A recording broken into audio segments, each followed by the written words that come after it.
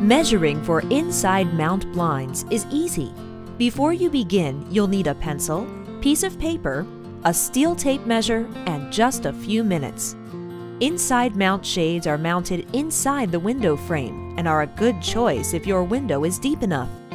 You can find detailed information on blindsaver.com about how much window depth is required to install the brackets inside your window.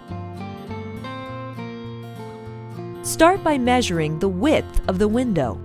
Measure the inside opening of your window at the top, the middle, and the bottom.